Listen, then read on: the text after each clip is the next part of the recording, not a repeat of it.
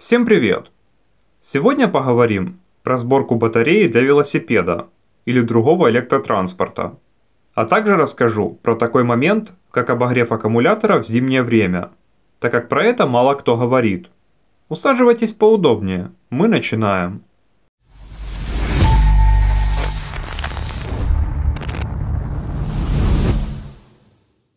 Четыре года назад я взял себе электровелосипед. И вот настал тот момент, когда заряда батареи мне стало не хватать, чтобы добираться до работы и обратно. Поэтому было принято решение заменить аккумулятор. Для общего понимания, за год я проезжаю примерно 2000 километров. Умножить на 4 это 8000 километров на одних аккумуляторах. Вполне годный результат. Первым делом достаем из велосипеда старый аккумулятор и разбираем его. Сейчас вы увидите пример того, как делать не стоит. Это моя первая сборка. У меня не хватало держателя аккумулятора, и поэтому садил их на сопли Но к моменту сборки я забыл, что у меня там, поэтому новых не купил. Однако я нашел способ это обойти. Как расскажу позже. Можно проверить, какой разбаланс ячеек после стольких лет использования. Как оказалось, напряжение совпадает до десятых долей вольта. Это значит, что БМС со своей работой справлялась отлично. Теперь же нам необходимо полностью разобрать старую батарею, чтобы вытащить БМСину. Сейчас я вам покажу годный лайфхак, как быстро удалить термоклей. Для этого нужен спирт. Я заправил его в банку из антисептика, Пару пшиков и аккум уже можно отрывать. Это очень удобно. Идем дальше. С чего начинается сборка аккумуляторов? Естественно, с приобретения этих самых аккумуляторов. Брал вот такие, на 3200 мАч. Теперь я рекомендую выровнять напряжение на всех банках, так как даже новые аккумуляторы могут быть заряжены до разного уровня напряжения. Если этого не сделать, то БМС будет очень долго выполнять такую работу. Самый простой способ выравнивания напряжения – это соединить все банки параллельно. Но если там есть лютый разброс, то лучше подключать такие банки через резистор для ограничения тока. Но это опять же будет позже. У меня, к сожалению, нет устройства для сварки аккумов, так как оно пригождается всего раз в 4 года. Поэтому буду по старинке паяльником – кто-то может сказать, что это неправильно. Но вот вам вполне нормальная батарейка, которая проработала 4 года после пайки. Думаю, на этом вопрос закрыт. Но раз уж паяете, то нужно делать это максимально быстро. Дотронулся, пропаял. И главное не передерживать. Если не получается, лучше через пару минут повторить. Припаяли аккумуляторы в параллель. И можно подождать, пока они перераспределят заряд. А пока я хотел узнать, какая же емкость у тех аккумуляторов, которые стояли в велосипеде. Сначала я удивился, потому что емкость упала совсем немного. Но как мне кажется, проблема тут не в емкости, а в том, что аккум не может обеспечить нужный ток. Еще в моей старой сборке были аккумы, которые я добавлял туда год назад. И я решил их поставить в новую батарею, пускай еще поработают. А вот у них напряжение уже сильнее отличалось от тех, что я припаял. Поэтому для выравнивания я подключил их через резистор 0,1 Ом.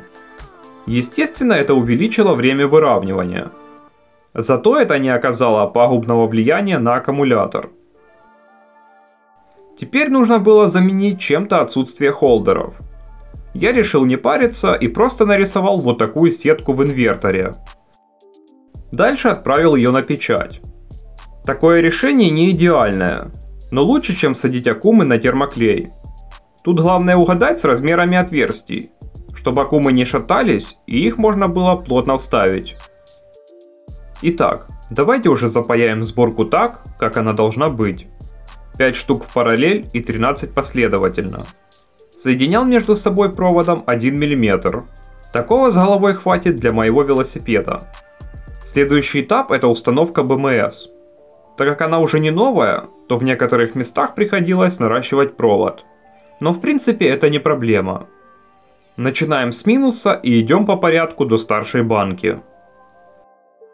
Сейчас вы увидели стандартную сборку. А теперь сделаем то, что многие упускают. Это обогрев аккумулятора.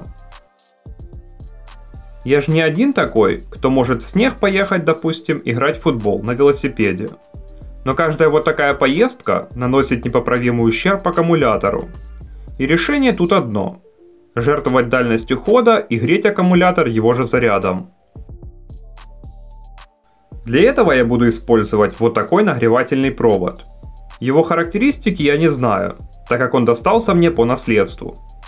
Я его просто подключил к блоку питания и смотрел, какую мощность он потребляет, при каком напряжении.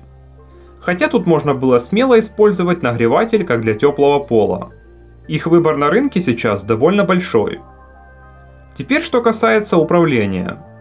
Не будем же мы постоянно включать и выключать руками кнопку обогрева. Поэтому я быстренько набросал схему, которая будет управлять нагревателем. Тут в принципе деталей немного, и я не стал заморачиваться и разводить плату, так как самому делать плату лень, а с Китая ждать долго. Но если заказывать в Китае, то рекомендую пользоваться услугами компании PCBWay. Это крупнейший производитель печатных плат – Заказываю там платы на регулярной основе и всегда доволен конечным результатом. Поэтому могу смело рекомендовать их вам. Ну а я же собрал все на макетке. Питать буду через высоковольтную DC-DC на LM2596HV. Ее выходное напряжение выбирайте такое, чтобы мощность нагревателя была примерно 5 Вт. Для настройки срабатывания нужно крутить вот этот резистор. Проверять же буду с помощью льда, температуру которого принято считать 0 градусов. Вставляем в него термистор и добиваемся того, чтобы светодиод на выходе загорался. Достаем, он гаснет. Значит наша схема работает как нужно. Можем с помощью мультиметра посмотреть на ток потребления, а с помощью тепловизора как нагревается обмотка. Тут можно увидеть, что сама DC-DC тоже греется. Но так как она будет работать только в минус, то это безопасно. В итоге у нас получилась довольно неплохая конструкция. Но это еще не все. Для того, чтобы сохранить тепло, необходимо изолировать аккумулятор с помощью термозащиты. Я буду использовать вот такой утеплитель. Поверх все это дело обматываем армированным скотчем. И осталось только установить обратно наш аккумулятор. Это уже каждый будет делать как ему удобно. У меня же получилось все довольно неплохо. С небольшим усилием Акум стал на свое место. Ну и теперь можно тестировать дальность хода. С этим проблем тоже не возникло. Акумы хорошие, и на одном заряде я проехал 35 километров. На этом у меня все. Спасибо, что смотрите, и до новых встреч.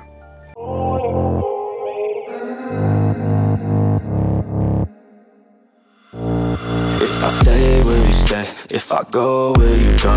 If I pay, will you play? Do you know what I know? Do you love, do you